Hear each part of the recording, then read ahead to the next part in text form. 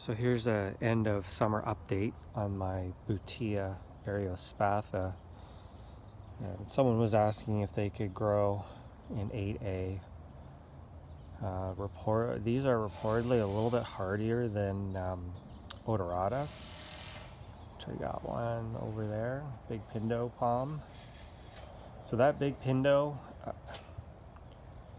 it saw into uh, the teens the very first winter after I planted it, had been in the ground um, about three or four months and we got hit with some really nasty weather. Uh, we had two, two and a half days below freezing.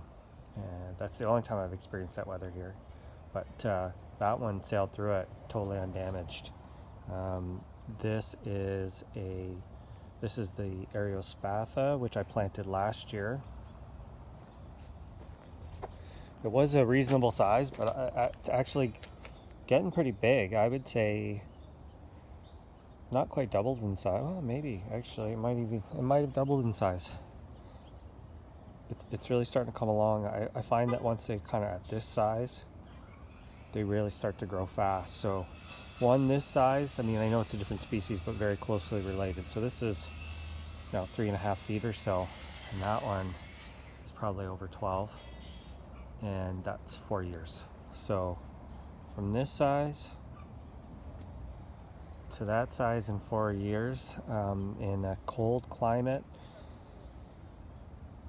depending on how cold it gets and the length of the freeze, um, anytime you get freezing rain or anything like that, snow, wet snow, I would consider um, maybe not necessarily protecting the whole palm, but um, wrapping the center spear. I've actually done that on the big one when we get freezing rain, when I know we're going to be getting some freezing rain, I'll do that.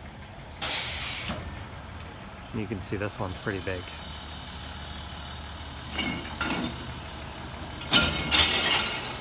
Right up past the gutters. And uh, quite a bit of trunk forming on that one. So kind of where that new spear is coming out, that's about four feet high.